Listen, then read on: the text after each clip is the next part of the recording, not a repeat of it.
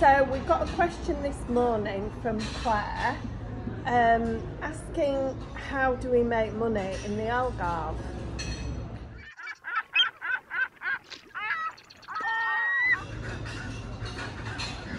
That's good. it's just making us laugh.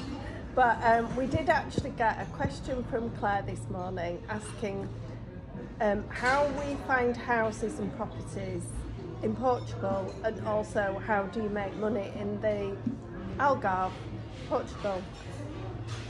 So when we moved here in 2019, um, this was in the January, we hadn't actually come out of Brexit at the time. We were still in the European Union. Um, so it did actually allow us the flexibility to actually go back to the UK at Christmas um, to make some money. Well, we were making arts and crafts. Yeah, plaques, wooden letters, a few hats. And we actually made the plaques in September before um, the Christmas show, which we had to leave, I think it was the beginning of the November. So we had about two and a half months before we realised we were actually running out of money to do the house renovation. So we decided to make the plaques that we'd sold in the UK and to go back to the market and do a Christmas market for six weeks. And that made enough money to make us continue. So by the time we got back to the January, um, the COVID had hit and we'd also come out of the Brexit situation, so we couldn't go back to the UK. It wasn't an option for us. So we really, when we bought the house, it was never our forever house because it didn't have a garden. It ticked an awful lot of boxes, and we love out, don't we? Yes. So when we came back from doing our Christmas show in um, the UK, um, we'd earned enough money to put a roof on the house, but it actually wasn't enough money to survive on. And as much as we love out, which we do with a passion, um, if we sold our house, we could not afford a house with the amount of land what we're buying now.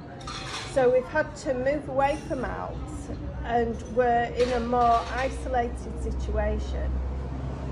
And we are, um, we've got a house which is the same size as our house in Al. We've got like a smaller house which we're going to be doing up and we've got two acres of land. And that's what we actually came here to the Algarve for, Yeah. which was stop. He's saying that he can only say yes because I'm so bossy. Yes. With because he keeps saying things that just don't make sense. Anyway, um, so we we're actually we've got enough land and a house and half a house, and this is what we actually came to the Algarve for. And we want to have a, an off-grid life and be self-sustainable. And although the the house, which was a terrace house, wasn't what we wanted in Alps, we actually did it and it's actually because we renovated it it actually gave us the opportunity to actually move on to get what we actually came here to the Algarve for. So the ambition, the ambition was to buy a house originally with a small amount of funds, renovate the property as fast as we could, right, which took roughly about two and a half years. Made enough profit to buy our dream property we wanted originally, but we couldn't afford to buy, leaving enough money over to buy the machinery, the tools, and to do the renovation, and also be able to live. And that's how you manage to survive in Portugal, because the cost of living here is very cheap. Yeah. Uh, overall, the electric is cheap uh, compared to the rest of Europe. We, right we just got our, our electric bill in this month and we just paid it. We got, got it in Saturday, it was 37 euros. Yes. Um, our water bill was 15 euros. So again, really cheap.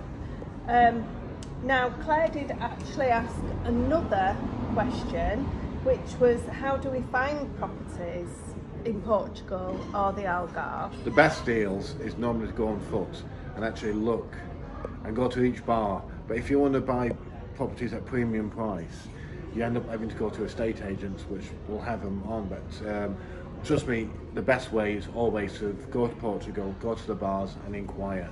Yeah. Now the thing is, is that in other videos we have actually put um, that you can find the numbers on some of the doors as you're actually uh, driving round.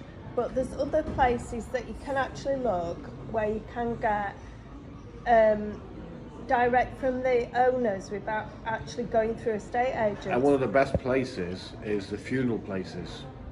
When you want people die at funerals, sure. wait right. wait outside and then take the family. He's so wrong on so many levels. No, the, one of the ones that um, owners go direct is Pure Portugal. Make sure it's the property page. And they do the whole of Portugal. And another one is Idealista. But on Idealista, also the estate agents do jump on that one as well. But if you can uh, bypass the estate agent and go straight to the owners, you will save yourself money. And um, A lot of money. that is the way to go. So, Claire, I hope we've answered your questions. But- and um, Yeah. little bells wait And always visit the crematorium during funerals because you'll always get a good opportunity.